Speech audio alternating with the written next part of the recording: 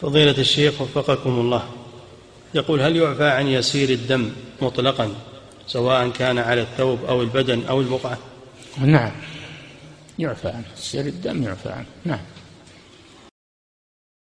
المكتبة الصوتية لمعالي الشيخ صالح بن فوزان الفوزان حفظه الله. فتاوى شرح كتاب العمدة في الفقه للإمام ابن قدامة المقدسي الحنبلي رحمه الله. مرتبة على أبواب فقهية. إعداد مشروع كبار العلماء بالكويت أعزها الله بالتوحيد والسنة.